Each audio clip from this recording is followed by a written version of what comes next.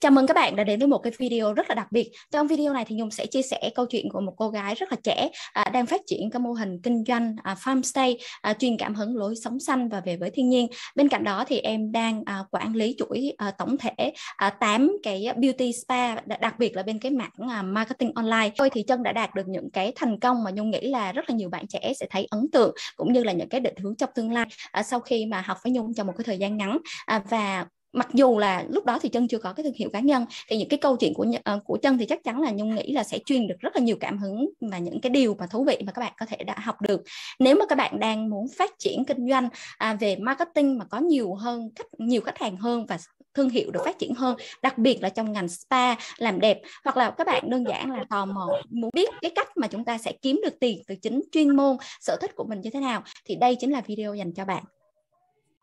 Xin chào Trân, thì em có thể uh, giới thiệu cho mọi người được biết về bản thân em cũng như là em à, đang làm cái gì rồi những cái gì mà em đang phát triển được không? Xin chào chị Nhung và xin chào tất cả các bạn. Thì uh, ngày hôm nay cho rất là vui vì uh, được uh, tham gia cùng với chị Nhung trong cái buổi uh, nói chuyện uh, bé bé ngày hôm nay. Thì uh, mình là Trân, uh, mình hiện tại đang sinh sống và làm việc ở Đắk Nông và mình năm nay 26 tuổi. Thì uh,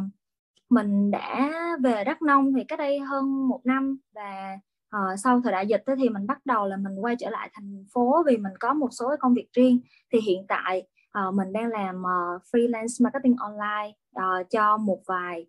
uh, công ty và chuyên về mảng content. Uh, hơn nữa là mình đang vận hành một cái mô hình ờ, uh, farmstay và mình muốn chia sẻ cái lối sống xanh dựa trên cái mô hình farmstay đó uh, lan tỏa đến cộng đồng. Những cái giá trị rất là tích cực về cái việc tự cung tự cấp cũng như là mình có thể làm một cái người nông dân nửa mùa vừa làm nông dân và mình vừa có thể phát triển một cái doanh nghiệp online uh, ngay tại một cái nơi mà uh, rất là khó để mình kiếm việc thì uh, đó là câu chuyện mà chân đã làm được uh, trong 6 tháng qua và mình sẽ tiếp tục cố gắng và nỗ lực trong năm 2022 này. Thì rất là vui ngày hôm nay uh, sẽ được chia sẻ cho các bạn những cái gì mà mình uh, đã trải qua và mình uh, hy vọng là buổi ngày hôm nay thì sẽ thật là thú vị và sẽ có thể chia sẻ được nhiều điều cho các bạn hơn ha. À, như như chị được biết thì Việt Nam là một đất nước nông nghiệp à, và thực ra là cái cái nông nghiệp của mình á nó chưa có được phát triển đúng như à, chính xác như những cái tiềm năng của của mình đang có. Thì à, lý do vì sao mà em lại bắt đầu cái lĩnh vực mà mô hình kinh doanh farmstay rồi sau đó là em lại trong quá trình đó là em lại làm những cái thứ liên quan đến là mentor cho tổ chức doanh nghiệp này rồi làm freelancer online marketing thì có rất là nhiều việc như vậy. Thì à, lý do như thế nào mà em bắt đầu cái lĩnh vực của mình như vậy? Uh, nếu mà lựa chọn hai cái ngành nghề mà trong cuộc đời của em gắn liền đó, thì thứ nhất là về uh, ngành làm đẹp và thứ hai là uh, nông nghiệp. Thì tại sao? Thì ngay từ khi mà em uh, bắt đầu ra trường đó, thì em uh, gắn bó rất là nhiều với cái ngành là uh, beauty. Thì trước đây là em có làm uh, marketing online và vừa sale online cho một cái công ty là uh, chuyên về mật phun xăm và em bán cả các nước uh, châu Âu, châu Mỹ và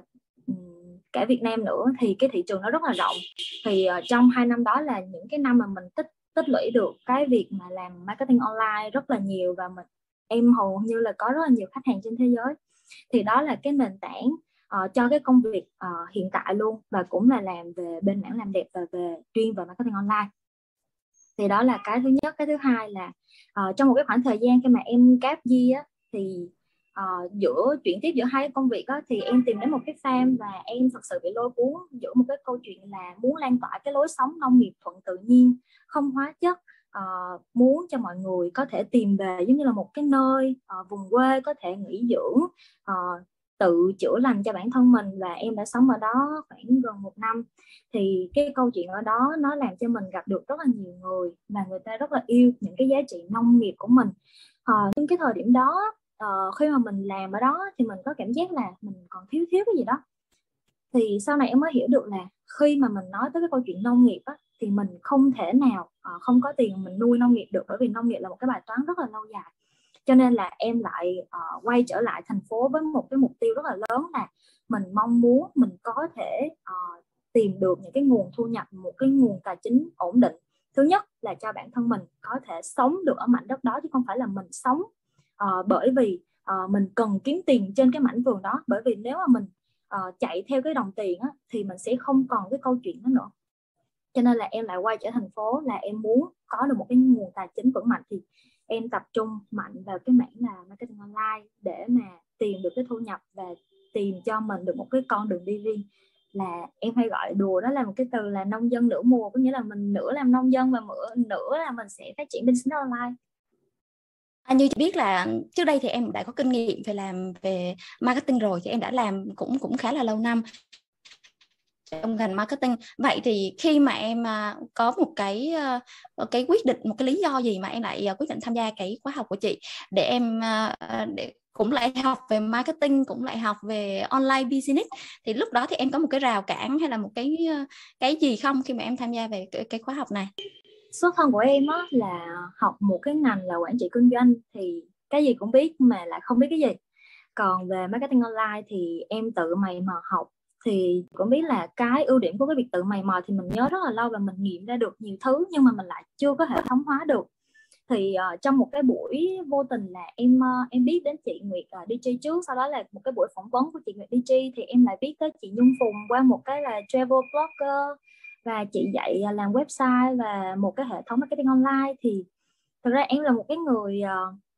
uh, em sẽ tìm hiểu tất cả mọi thứ. Ví dụ như khi mà em biết tới chị thì em đọc hầu hết những cái bài post của chị từ năm này đến năm khác để mà em xem là cái người này họ phát triển từng chút từng chút như thế nào. Và khi mà em đã đọc hết các cái post rồi xem hết tất cả các workshop ở trên youtube thì em quyết định em mua.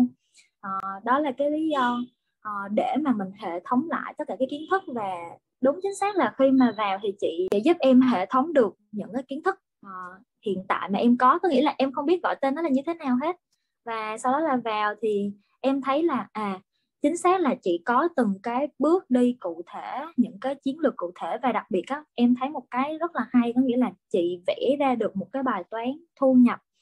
rất là rõ ràng. Chứ không phải là uh, mình làm cái này mình làm cái kia mình phát triển kênh này kênh kia nhưng mà mình lại không biết được cái nguồn thu nhập nó đến từ đâu. Thì à, như vậy thì mình rất là fail trong cái việc mà xây dựng cái business online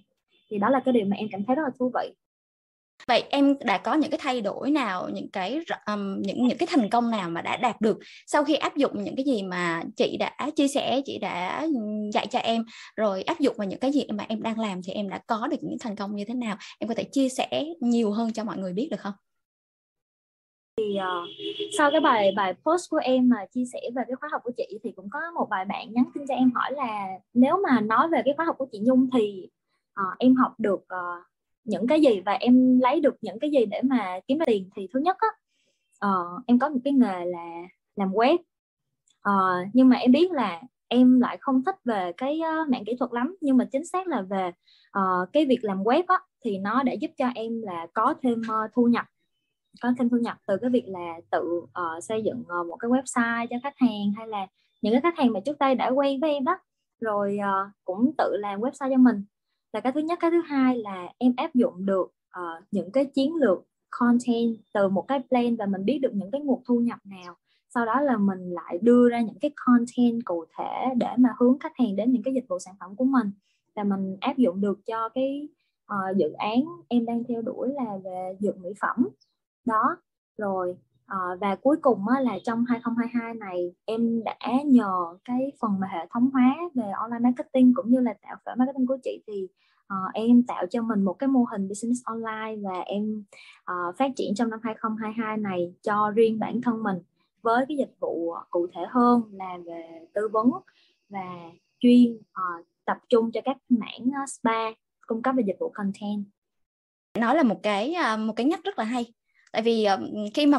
bên cái ngành spa thì ờ, rõ ràng là phải lên content. Bất kỳ cái ngành gì cũng vậy nhưng mà đặc biệt là bên spa luôn người ta muốn là nhìn thấy được đó là những cái kết quả trước và sau rồi là những cái chi tiết hơn về những cái thông tin những cái gói sản phẩm mà thường đó là bây giờ như spa họ lại bỏ qua cái vấn đề đó. Thì em có thể chia sẻ cho mọi người là cái uh,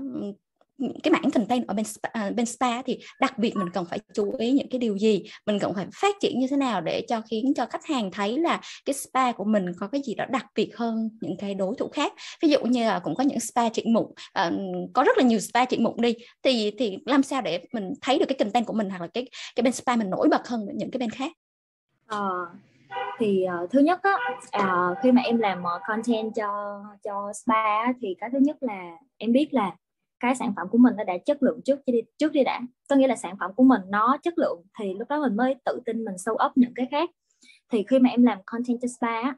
uh, về before và after thì nó là một cái xu hướng cũng khá là lâu rồi. Nhưng mà uh, từ cái lúc mà em bắt đầu ờ, uh, sâu ấp thêm nhiều cái hình ảnh về thực tế nè và bởi vì mình có có rất là nhiều spa nha họ có khách hàng thật nhưng mà rất là ít khi mà họ sâu ấp có nghĩa là khách hàng của họ đến nườm nượp hoặc là họ làm rất là nhiều nhưng mà họ không show những cái điều đó thì vô tình á uh, mình sẽ không có một cái uh, sự riêng biệt so với những cái spa, spa nhỏ lẻ khác.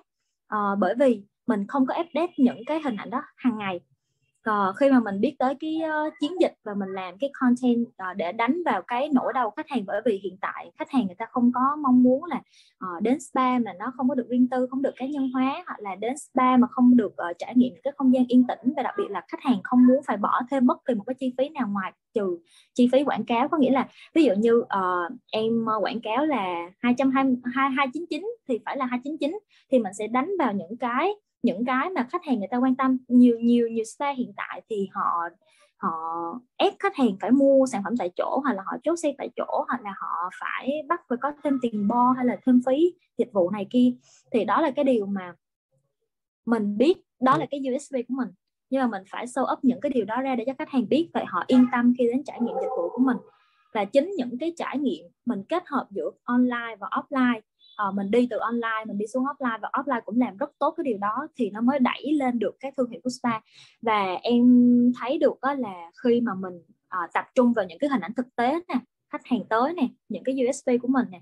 thì chính xác là uh, họ uh, khi mà họ chạy quảng cáo á, thì họ vào á, họ tham khảo cái fanpage của mình á, thì họ sẽ nhanh chóng quyết định hơn đưa ra quyết định hơn. Thay vì là mình chỉ đăng tải những cái hình ảnh sản phẩm đơn thuần thì uh, sau sau khoảng uh, gần 3 tháng khi mà em uh, thay đổi chiến lược nội dung á, thì uh, cái cái sự uh, chốt sale hoặc là chốt cái bút lịch á, nó sẽ nhanh hơn so với cái thời điểm trước đây. Đúng rồi, nhưng mà cũng, cũng muốn chia sẻ cho các bạn. Lý do vì sao mà người ta hay nói là trong online content is king tức là uh, content là cái mà sức mạnh mạnh nhất trong online. Mà đa số những bạn đang làm spa trong lĩnh vực lĩnh vực làm đẹp hay kinh doanh online, các bạn luôn nghĩ là ờ, cứ phải đăng sản phẩm ờ, là cái lợi ích của sản phẩm rồi thông tin về sản phẩm. Nhưng mà các bạn quên đi là ngoài kia người ta cũng làm y hệt. Nếu như cả 100 người cùng làm như vậy thì cái cái cái cái sự khác biệt của bạn ở đâu. Lý do vì sao mà khách hàng lại chọn bạn. Cho nên là các bạn đừng có chỉ có tập trung vào những cái content như vậy. Các bạn hãy coi um, khách hàng họ đang cần gì họ đang mong muốn cái gì vấn đề của họ ở đâu. Thì chúng chúng ta sẽ hãy chia sẻ những cái bài chuyên môn liên quan đến đó rồi những chia sẻ những cái review của khách hàng để khiến cho khách họ tin tưởng mình. Tại vì khi mà có review rồi nó rất là thật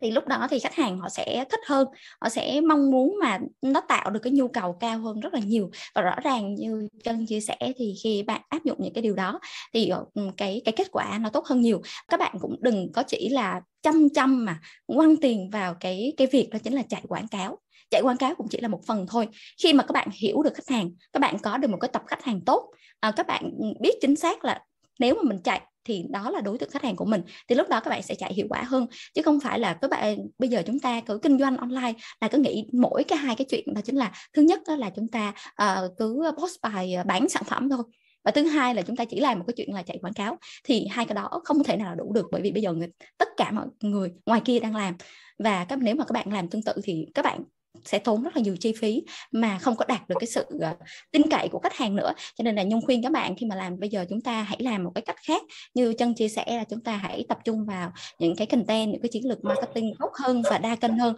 thì lúc đó là hiệu quả nó sẽ tốt hơn rất là nhiều. À, vậy thì em chị nhớ có một lần em chia sẻ với chị là uh, khi mà em uh, em mới học hình như đâu đó được có một tháng thôi thì em đã có một cái điều rất là tốt và cái giá trị rất là cao. Thì em có thể nói thêm được những cái điều đó khi mà cái cái điều gì em đã áp dụng để có được cái cái, cái điều như vậy ca như vậy như là 49 hay 50 triệu ngay khi mà em mới học có một tháng thôi. Um, cảm ơn chị. Thì uh, thứ nhất á, là khi mà em học khóa học của chị á, thì em cũng suy nghĩ lúc đó là em cũng chưa có tìm ra ngách đâu. Uh, em chưa tìm ra ngách nhưng mà em nghĩ là tại vì cái tính của mình nó cũng háo thắng mình nghĩ là bây giờ mình phải kiếm được cái số tiền để mà bù lại cái số tiền mà mình bỏ ra rồi. Có nghĩa là mình đã bỏ ra là mình phải nghĩ là mình phải kiếm lại. Thì cái lúc đó em nghĩ là nếu như bây giờ mà cung cấp dịch vụ á, thì cái gì mình có thể làm được dựa trên cái khóa học này? Thì em nghĩ đến cái chuyện là thứ nhất á, là em làm một cái website. Em có thể làm website kèm thêm tư vấn về cái chiến chiến lược ờ, marketing online cho khách hàng vì cái đó là mình cũng ờ, có được cái nền tảng rồi. Bây giờ cái phần website nếu mà em không làm được thì em có thể uh, nhờ một người khác chuyên về kỹ thuật làm hơn. Rồi ờ, và mình bởi vì hiện tại á uh, tại vì em làm với agency cũng nhiều cho nên là em thấy là cái việc mà cung cấp website á thì người ta chỉ làm cho mình một cái website thôi. Người ta chỉ dừng ở cái việc là làm cho mình cái website chứ không có nội dung bài viết ở trên đó thì em kim luôn cái việc là tìm kiếm từ khóa và viết bài cho cái website luôn. Có nghĩa là khi mà khách hàng gửi tiền cho em thì em sẽ trả lại cho họ một cái website hoàn chỉnh với đầy đủ nội dung dịch vụ sản phẩm và bài viết luôn. Tất cả mọi thứ từ A đến Z. Thì uh, em nghĩ như vậy và sau đó là em bắt đầu uh, định hình được cái sản phẩm và cái, cái sản phẩm của mình. Uh, nó gồm những cái gói nào gồm những cái uh, những cái nhỏ những cái mục nhỏ nào rồi sau đó là em uh, mới đưa nó vào một cái file uh, giống như là một cái lời chào hàng vậy đó. Em đưa vào cái lời chào hàng sau đó là em gọi cho khách hàng và em giới thiệu đến cái uh, cái sản phẩm của mình và chốt cho khách hàng trong zoom. Trước đó thì uh, uh, mình cũng phải nghiên cứu được là cái nhu cầu của khách hàng là cái gì. Thì bởi vì em biết là khách hàng của em rất là mong muốn có một cái website nhưng mà họ lại không tìm được bởi vì họ thì em thấy là có rất là nhiều ờ, doanh chủ tự thân á, họ họ không thể nào làm tất cả mọi thứ cùng một lúc. Và họ rất là muốn phát triển, nhưng mà họ, giống như là họ làm nghề. Ví dụ như làm bên mảng spa hay là phun xanh phẩm mỹ thì họ làm nghề là chính thôi, chứ họ không biết về marketing online hay là làm web gì cả. Và đưa cho một agency thì họ cũng không có thời gian để mà quyết cho nên là lúc đó mình biết là khách hàng của mình họ cần một cái website và họ cần là từ A đến Z luôn họ không cần phải đụng tới cái gì hết. Đó thì mình cung cấp cái dịch vụ như vậy. Thì em lấy từ trong cái khóa học của chị ra em làm thôi. Nhung cũng muốn chia sẻ cho các bạn một điều á là như các bạn nghe qua cái câu chuyện của Trân á, thì rõ ràng là khách hàng họ luôn luôn muốn một cái giải pháp về tổng thể. Tại vì có rất là nhiều chủ doanh nghiệp họ đã có những cái kinh phí để họ làm nhưng mà đa số là uh, ngoài kia thì người ta ở uh, chào là cái dịch vụ làm website này rồi dịch vụ làm SEO dịch vụ làm viết content nó rất là riêng lẻ. Và khách hàng thì họ sẽ không có hiểu nó họ không hiểu những cái điều đó. Và đặc biệt là họ muốn một cái người mà cũng am hiểu về cái lĩnh vực đó nữa. Tức là biết được cái nỗi đau vấn đề rồi tìm cái cái những cái nội dung xung quanh mà khách hàng làm sao mà để kéo được khách hàng. Chứ còn khi mà chỉ có tạo ờ, một cái website website chỉ là một cái công cụ thôi. Nhưng mà làm sao để cái công cụ đó mà tạo ra tiền đó chính là cái mà doanh nghiệp họ quan tâm. Cho nên đó là khi mà các bạn ờ, muốn mà cái giá trị của mình à, cái giá trị cái công làm của mình trong cái nghề freelancer ví dụ làm website là làm marketing online mà có được cái nhiều cái giá trị hơn và được trả cao hơn, thì bạn phải hiểu rất rõ về trong cái tính chất của cái business của cái khách hàng của mình nữa. Chứ không phải là chúng ta chỉ có nhìn ở cái bề ngoài. Là chỉ là à là thôi, tôi làm một cái website, nhìn có vẻ đẹp đẹp. Nhưng mà các bạn thấy là ngoài kia có rất là nhiều người cũng làm website, cũng là nhiều người làm về kỹ thuật, thì làm sao mà bạn chọn lại với những người đó? Thì họ cũng có đủ thứ giá họ offer hết. Vậy thì tốt nhất là chúng ta hãy học để chúng ta hiểu được là khi mà chúng ta làm một cái business đó, một khách hàng làm business thì cần những cái phần như vậy làm website này làm marketing này rồi làm uh, những cái công cụ khác rồi content vân vân. Và bạn phải đào sâu vào cái business của khách hàng. Lúc đó là các bạn có thể ch- ừ, đưa ra một cái lời chào hàng và đúng y chang như những mong muốn của khách hàng. Rồi các bạn có thể chốt rất dễ. Và thay vì các bạn uh, làm những cái dịch vụ mà cái giá trị nó rất là rẻ ví dụ như là các bạn những bạn làm content đó thì uh, khách hàng giao cho các bạn nói là bây giờ trả có 50 ngàn trăm ngàn thì cái giá rất thấp đúng không? Nhưng mà chân đã làm được một cái chuyện là có được những cái deal mà có giá trị cao à, bốn chín bốn chín triệu cái điều đầu tiên đúng không? Rồi là có những sau này sẽ có những những cái điêu cao hơn nữa. Thì để làm được như vậy thì các bạn sẽ phải cần à, một cái à, một một cái giải pháp tổng thể. Các bạn phải học được những cái giải pháp tổng thể đó từ tất cả, hiểu rõ tất cả những cái công cụ marketing và biết làm sao để khai thác được những cái vấn đề của khách hàng, biết làm sao để tự chủ động à, mình ờ, mình chào hàng cho khách hàng và khiến cho khách hàng happy và chỉ trong một cái cuộc họp thôi, là zoom thôi. Các bạn có thể chốt được và không chỉ là cái deal ờ, uh, 50 triệu mà các bạn có thể có cả deal 100 triệu 200 triệu vân vân. Miễn sao mà cái giá trị của các bạn đem lại cho khách hàng rất là lớn thì lúc đó các bạn có thể trả được với cái giá rất cao. Chứ các bạn đừng có nghĩ là cái nghề freelancer nó rẻ mạt là chỉ có kiếm đâu website 2 triệu là 5 triệu thôi. Mà nếu mà các bạn biết cách nếu mà các bạn hiểu rõ tất cả mọi thứ, cái cốt lõi của làm kinh doanh như thế nào, thì nhung tin chắc rằng là bạn có thể tạo ra những cái gói mà như chân đã chia sẻ và những cái gì mà thành tựu mà chân đạt được. Thì cái đấy là cái cái mà chúng ta cần phải hiểu để khi mà chúng ta bắt đầu với cái nghề freelancer làm marketing, hay thậm chí là các bạn có thể làm và sau này chúng ta có thể mở những cái business riêng của mình, thì chúng ta phải cần rất hiểu rõ tất cả những cái công cụ marketing để hỗ trợ cho cái công việc business của mình cảm ơn em. Thì chị nghĩ là những cái chia sẻ của em à, giúp cho nhiều bạn hiểu hiểu được nhiều vấn đề lắm đấy. À, và có một cái mà chị tò mò là cái cách nào mà em có thể uh, approach khách hàng cái cách nào mà em có thể để khách hàng uh, tìm ra được khách hàng họ biết đến cái dịch vụ sản phẩm của mình? Ờ, có một cái em rút ra được cái uh, cái việc mà em bán hàng trên uh, khắp thế giới có nghĩa là em phải đưa được cái sản phẩm và dịch vụ của mình tới trước mặt họ chính xác là như vậy. Thì bởi vì á uh, tại sao ờ, thực ra là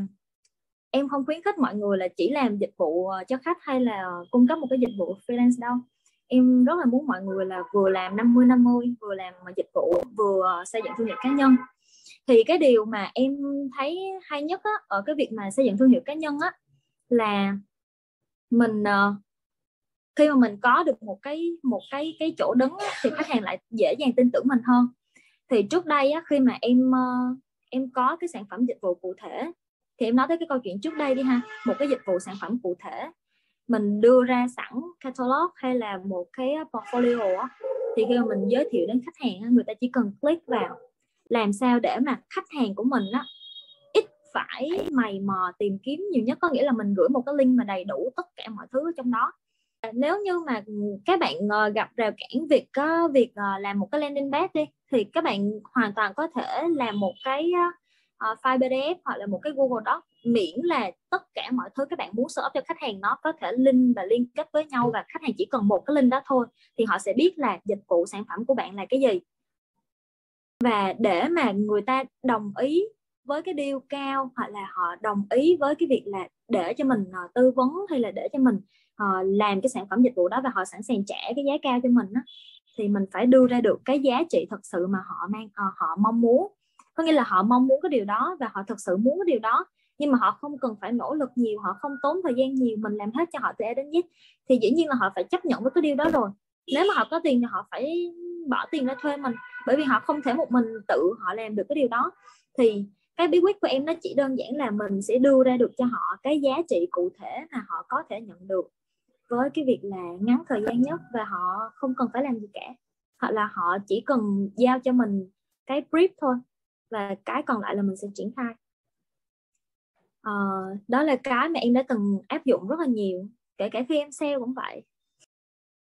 Em có thể chia sẻ cho mọi người cái kế hoạch 12 tháng à, tới em sẽ làm cái gì được không? Tại vì hồi kia em có viết một cái bài post mà chị thấy rất là ấn tượng về những cái mà cái con đường em đi rất là rõ ràng để mình biết được là 12 tháng tới mình sẽ phát triển đến đâu, cái thu nhập của mình lên đến như thế nào thì những cái điều đó là những, chị nghĩ là những cái mà những bạn dù là làm freelancer hay là làm chủ doanh nghiệp cũng phải rất là cần thiết để vạch ra một cái kế hoạch 12 tháng như vậy em có thể chia sẻ với mọi người được không?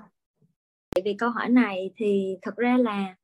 uh, em có viết cho mình một cái bản uh, ờ, và để sẵn ở trên laptop về cái thu nhập cũng như là những cái dự án mà mình mình muốn theo đuổi. Thì 2022 á, em mong muốn là uh, mình uh, phát triển một cái business riêng uh, của chính bản thân mình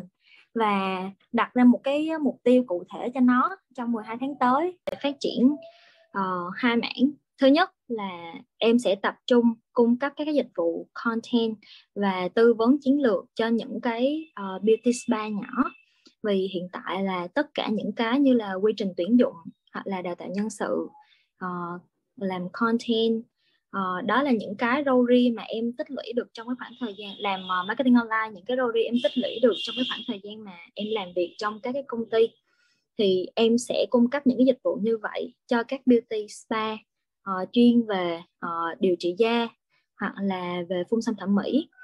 Uh, là cái thứ nhất. Cái thứ hai đó chính xác là cái case study để mà em khẳng định với mọi người là khi về vườn mình vẫn có được những cái thu nhập ngoài lề. Và trong 12 tháng tới em muốn phát triển một cái mô hình farmstay uh, cùng với cái tiếng nói của mình á, có thể lan rộng hơn cho cộng đồng để mọi người biết được là uh, những cái giá trị mà nông nghiệp mang lại cho mình nó rất là lớn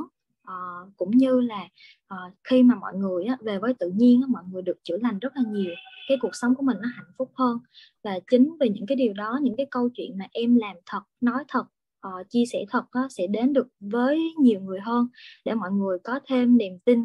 cho cái giấc mơ về vườn của mọi người em, đấy là một cái kế hoạch à, nghe rất là hay. Và cái gì đó mà đem lại giá trị cho cộng đồng thì chắc chắn là sẽ à, đem lại giá trị, càng nhiều giá trị hơn cho chính mình. Cái đấy là cái cái mà nhung mong muốn là các bạn hãy hãy nghĩ về nó. Bởi vì khi mà nhung tạo ra một cái khóa học về kinh doanh và kiếm tiền online và thậm chí là nhung coaching cho rất là nhiều chủ doanh nghiệp, thì cái cái mà, một trong những cái mà khiến cho nhung có rất là nhiều cái động lực để nhung làm đó chính là nhung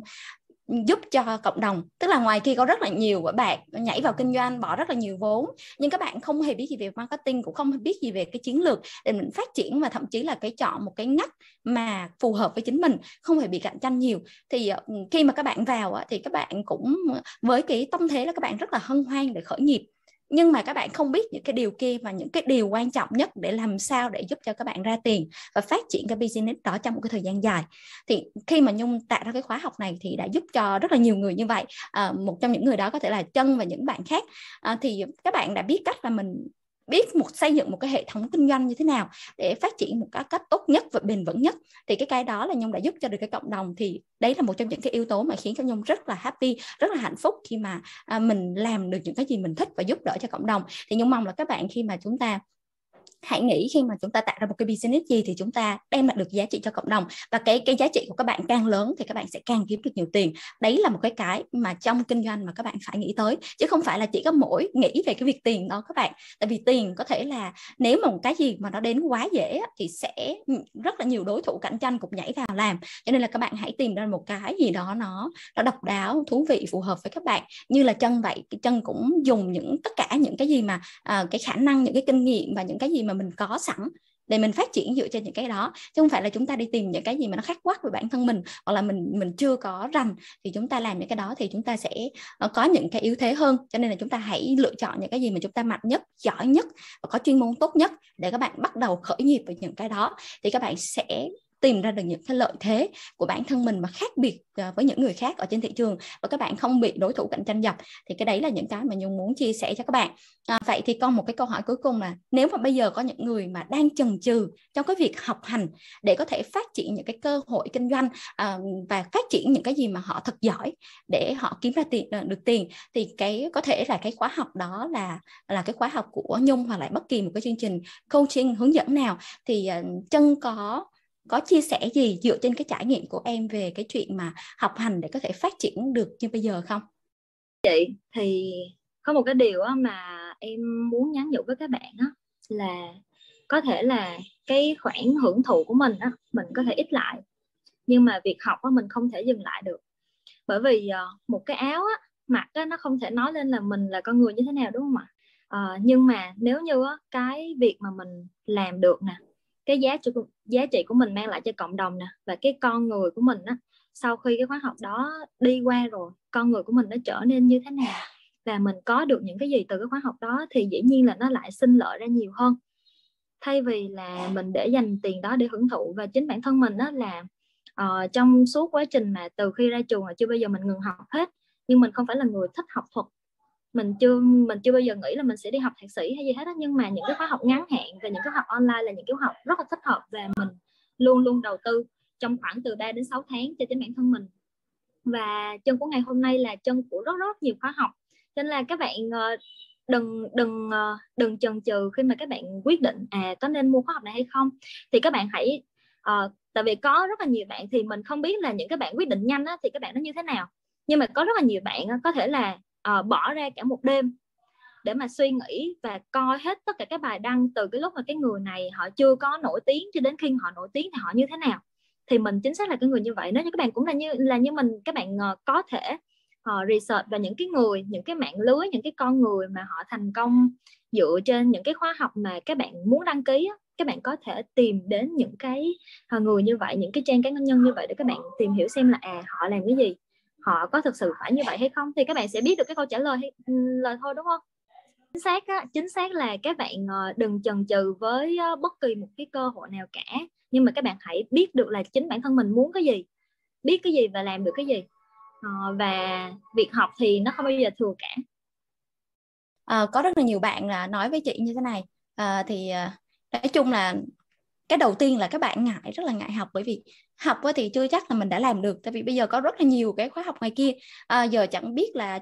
thực sự là cái khóa học đó có thể giúp ích được gì cho mình không? Thì các bạn là vừa nghi ngờ về chính bản thân mình vừa cái nghi ngờ về chính cái khóa học đó. Nếu mà cái khóa học mà có thể dạy cho người ta làm giàu được thì nhiều người giàu hết rồi. Hoặc là có những người rất là chần chừ rất là chần chừ khi mà việc mà các bạn ấy bỏ tiền ra để thay vì là dùng cái tiền đó để cho những cái chuyện khác và bỏ tiền ra để học và để làm một cái điều gì đó thì thì với bản thân em thì em thấy sao? Thì nếu như mà mình có mục tiêu á thì mình sẽ uh, tập trung cho cái mục tiêu đó. Thì ví dụ như uh, có bạn sẽ nói là mình không có tiền có bạn sẽ nói là mình không có thời gian. Nhưng mà quan trọng là mình dành thời gian cho cái gì và mình dành tiền cho cái gì. Thực ra các bạn nói một cái câu từ chối như vậy á, có thể là à các bạn uh, nói là các bạn không có tiền nhưng các bạn lại có tiền để làm một cái chuyện khác để mà mình hưởng thụ nhiều hơn. Thì uh, về cơ bản á uh, đối với bản thân em á khi mà em muốn học một khóa học á thì em sẽ uh, dành mình sẽ có một cái mục tiêu là à tháng này mình sẽ học cái khóa đó hoặc là tháng sau mình sẽ học cái khóa đó thì mình sẽ để dành tiền những cái khóa đó thôi. Còn tất cả những cái mục tiêu khác thì em không quan tâm tới. Có nghĩa là em chỉ quan tâm đến một cái thôi và mình biết cái đó nó thực sự thay đổi con người mình. Và một cái điều nữa các bạn uh, có thể uh, tự hỏi bản thân mình đó là khi mà mình uh, mình thử học một khóa học nhỏ rồi tới một khóa học lớn thì các bạn thấy là cái bản thân mình đó, nó có thay đổi nhiều hay không? Thì lúc đó các bạn sẽ tự trả lời được hay không? Và có một cái điều nữa là dù các bạn có học nhiều khóa 100 khóa hay là 200 khóa đi chăng nữa và tới cuối cùng mà các bạn không làm thì nó cũng không có gì xảy ra cả. Chính bản thân mình đó là một cái người cũng rất là rụt rè ngại xuất hiện trước đám đông à, nhưng mà các bạn có biết không nếu như mà các bạn có học uh, một khóa 10 khóa 20 khóa hay là 100 khóa nhưng mà đến cuối cùng các bạn không làm á, thì cũng sẽ không có cái điều gì xảy ra cả. Thì chính bản thân mình là người á uh, chần chờ rất là nhiều lần thiếu tự tin rất là nhiều lần bởi vì mình không biết là mình có thực sự giỏi cái điều đó hay không. Nhưng mà uh, như chị Nhung uh, chia sẻ mới có đây mấy ngày uh, học làm và chia sẻ đó là một cái công thức mà em cảm thấy là đúng với em cho tới cái thời điểm hiện tại. Bởi vì chỉ khi em chia sẻ em lên tiếng là em đã làm được điều đó thì có rất là nhiều người tìm tới để hỏi em về cái vấn đề đó. Thì nó cũng tương tự như cái việc là à mình có làm mình mới có được cái thu nhập đó mình có làm mình mới có được cái thành quả như vậy thì uh, một cái điều là các bạn uh, dùng cái số tiền mà mình có được mình kiếm được để mà mình đầu tư. Thì thực chất đó là cái khóa học của chị hai hai triệu uh, lúc đầu tiên á hai triệu chín chín chín á. Thì chính bản thân em á uh, em đặt ra một mục tiêu là em phải nhận một cái job nào đó với cái mức giá cao hơn như vậy để em có tiền em đăng ký khóa học. Cái đó là cái rất là quyết liệt và em đưa ra là trong vòng bao nhiêu ngày. Bởi vì có nhiều bạn á, bạn sợ còn em á, là khi mà em nghĩ là nếu mà em học khóa học của chị á, thì em nhất định là phải kiếm ra được một cái khoản tiền nào đó để bù vô. Là em rất là quyết liệt em em làm uh, em có làm là uh, em nhận cái job đó. Là vừa mới banking xong là em lấy tiền đó là em có nghĩa là em em đăng ký khóa học luôn. Có nghĩa là tùy vào cái mục tiêu mà mình quyết liệt mình theo đuổi á. Rồi khi mà cái khóa học mà chị đưa ra rồi đúng không? Cái xong em lại uh, ví dụ như cái cách kiếm tiền trong vòng 6 tháng là như vậy đúng không? Ok thì mình sẽ đặt ra cái mục tiêu là trong 6 tháng đó mình đặt cái gì mình đạt được cái gì. Thì đó là cái câu chuyện của bản thân em. Có thể là mình không có tiền trước hoặc là mình có tiền nhưng mà mình lại ngại chi cho cái vấn đề đi học. Nhiều khi là uh, họ chưa có học á chưa có thấy được cái giá trị của mình nhận được á cho nên là họ là chần chừ. Ok, cảm ơn em đã dành thời gian chia sẻ cho mọi người rất là nhiều những cái tip hay. Thực sự là chân là một người làm làm việc hành động rất là quyết liệt và đây là một cái tính mà Nhung nghĩ là nhiều người nên nên phải cố gắng để đạt được bởi vì Nhung cũng y chang như vậy, Nhung học cái gì Nhung làm cái đó, làm liên tục và đạt được cái mục tiêu ờ, phải có được cái mục tiêu mà mình mong muốn sau đó là mình cố gắng để làm đạt được. Chứ còn nếu mà các bạn có học 100 khóa học nữa hoặc là các bạn có có chỉ có mua khóa học để dạng như là các bạn thấy an ủi bản thân mà đã làm được một điều gì đó thì sẽ không có chuyện gì xảy ra cả. Thì nhung nhung rất là mong là những bạn nào mà vô học với nhung á, thì các bạn hãy hành động quyết liệt như vậy. Để làm sao ít nhất cái tháng đầu tiên là các bạn đã hòa vốn đã. Và rất là nhiều bạn cũng đã thay đổi được như vậy khi mà các bạn vào khóa học. Thì nhung rất là hy vọng sẽ được gặp bạn ở trong cái khóa học của nhung và nhung có thể giúp đỡ cho các bạn để đạt được những cái thành tiệu như là chân đã làm được. Cảm ơn và chào các bạn.